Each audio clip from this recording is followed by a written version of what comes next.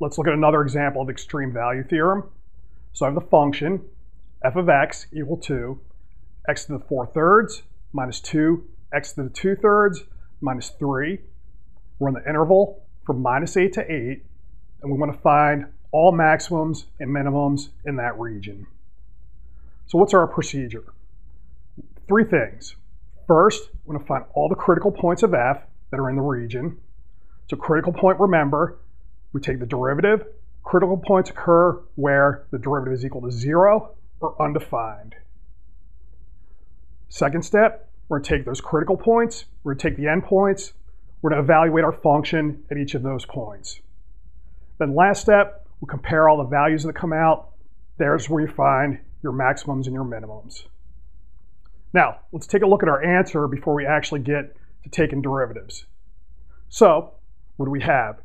Here's a picture of our graph on our region. So we'll note the maximums are going to occur at the endpoints.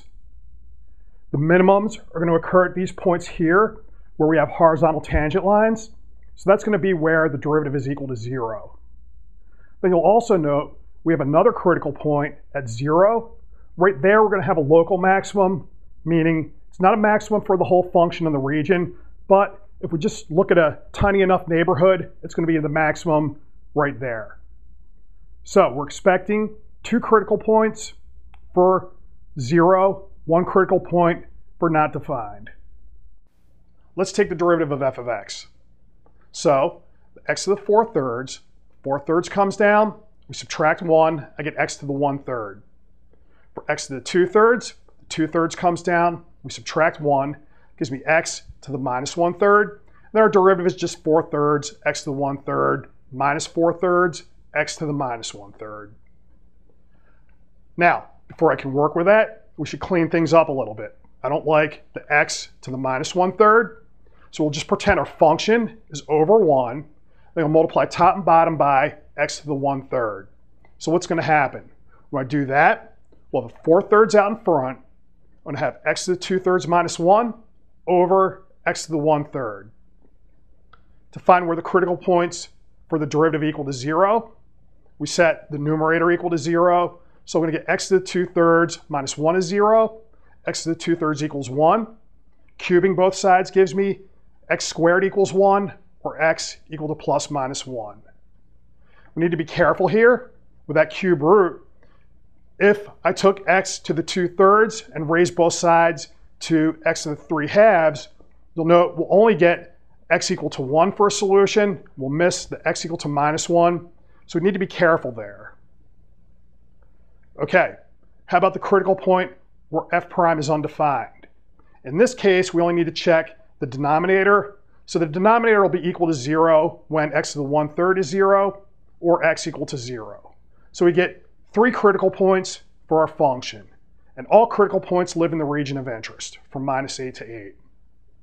I take our three points, I take our endpoints, we evaluate the function at each of those. Okay, we do so. Now, just a note on, say, f of minus 8. We need to take minus 8 to an exponent. So let's just recall how we do that correctly. If I have minus 8 to the 4 thirds, we do the cube root first and then raise what comes out to the fourth power. So if I have minus 8 to the 1 third, okay, if I take a cube root of a negative number, I get a negative number out. So if I took a square root of a negative number, there's no answer. Cube root of a negative number, I definitely get something back. So we're looking at the cube root of minus 8. So it'll have a negative sign, and then I just have to worry about what the cube root of 8 is. Cube root of 8 is 2. Okay, 2 cubed gives me 8. So if I rewrite that, 8 to the 1 third equals 2. Then I take the fourth power of that, I get a 16. So the minus sign is going to go away anyway. All right, and then you can work out the rest. So minus 8 to the 2 thirds, same procedure. We compare all the values now. So the maximum is going to occur in this list. So the maximum is going to be 5, and it's going to occur at the endpoints, x equal to plus minus 8. So we notice our graph already told the tale there for the maximums. Maximums occur at the endpoints. How about the minimums? We see our minimums are going to occur at plus minus 1 with a minimum value of minus 4. take a look at the graph. We note our minimums are happening where we have these horizontal tangent lines at plus minus 1. And we already noted that that's where the derivative is equal to 0. How about the point we're not using? Well, that's going to be f of 0 equal to minus 3. You'll note it's neither a maximum or minimum for the entire function on this region, but if we looked at it up close, it's going to be a local maximum. Also note, the derivative there does not exist. That's because if you take a look at this, it's got a little spike there or a vertical tangent line happening. Either way you look at that, you're not going to get a derivative at x equal to 0.